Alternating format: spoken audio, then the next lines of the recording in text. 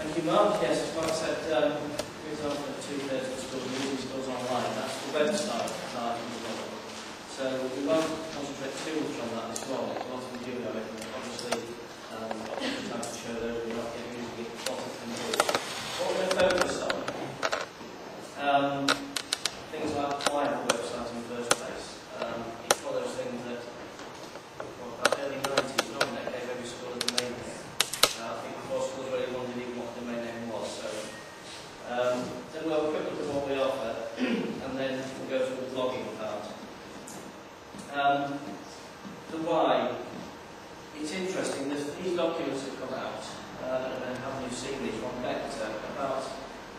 typical snappy title, exploiting ICT to improve rental engagement, moving towards online work.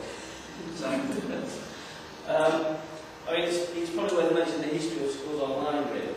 Um, back in those early 90s, I was, um, I've gone through the typical route of a teacher and then advisory work for MEP in the first days of ASU. Eventually finished up doing advisory work locally in Lincolnshire. I met a few schools who wanted websites. And of course, in those days, we were Tony Go Live, you know, things like Greenwood. Um, but there's one squad in particular where the Deputy Head really had got, the, if you like, the reason why sorted in her mind was whenever they went on a school trip, she would come back to the very early digital cameras in those days. But of course, in those days, she would then look into Photoshop, rescale them to the right size, and FTP upload them, and all those sort of things. Um, but I mean, that, that school had some parental engagement because the parents knew it school, they could go on the website that night, see the trip. And in fact, the school had a few parents who, if you like, brought children to the school simply based on what the school website was.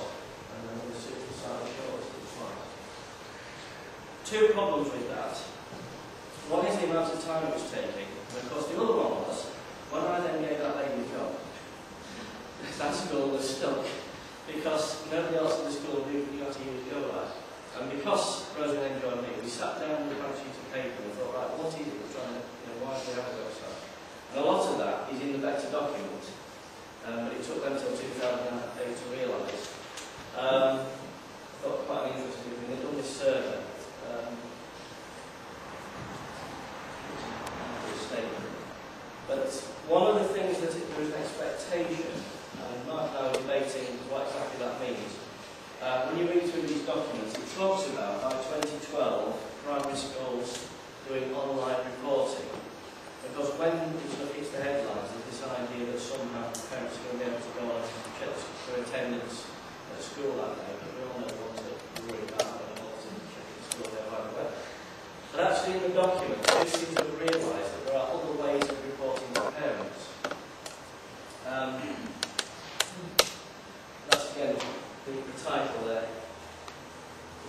a.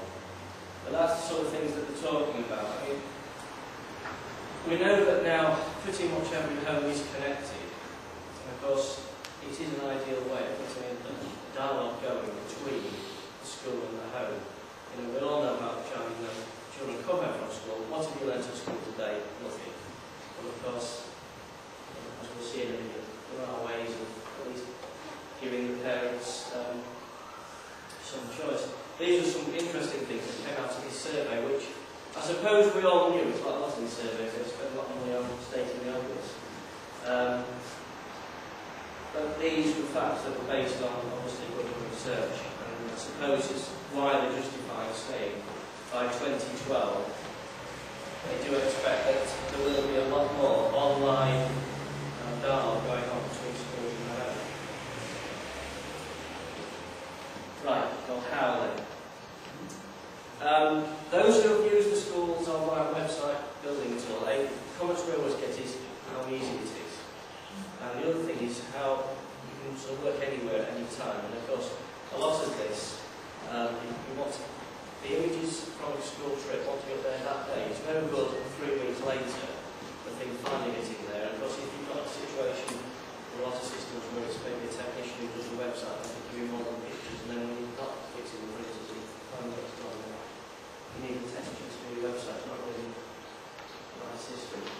So we can keep parents informed about what children learn through things like this a class gallery.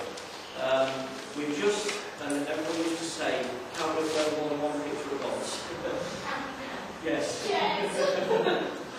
it has taken some time, but we can now upload as many pictures as you like, um, quite rapidly. And the last scaling we used to do in the past, it's all gone. you basically upload the 10 megapixel picture, scales them.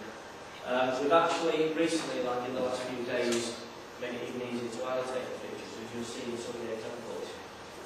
Mm. And one thing that we've done, I don't think anybody else has actually ever done this, is when you put all those pictures into a gallery, so if you've got a class gallery, you put a picture in there once a week, you know, we can do this, that and the other. At the end of the year,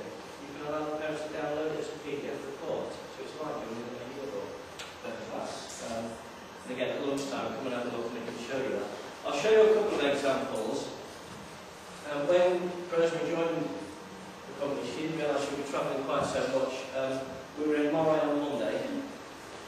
Um, New England in the middle of the week.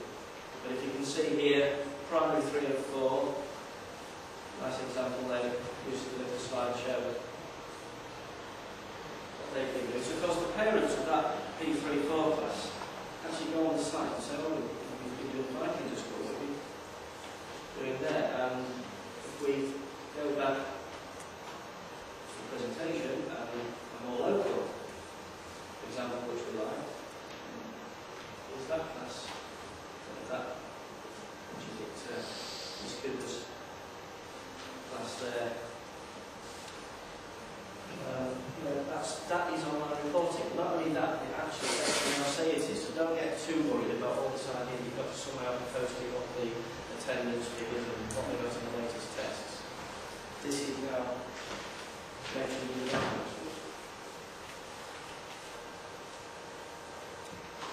so, um, surveys.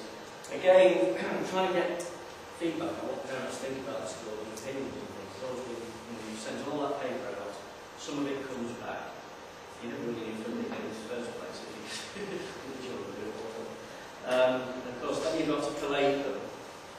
So, and again, gathering stakeholder views as back to that recording is very much mentioned in here.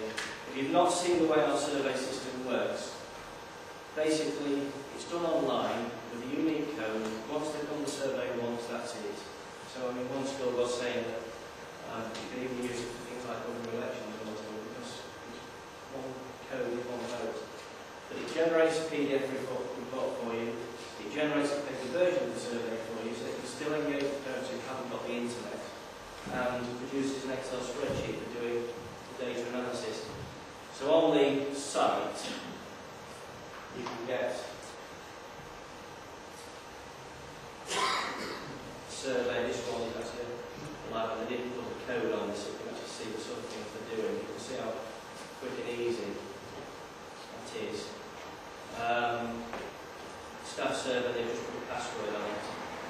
And that's what it looks like. As soon as you close the survey,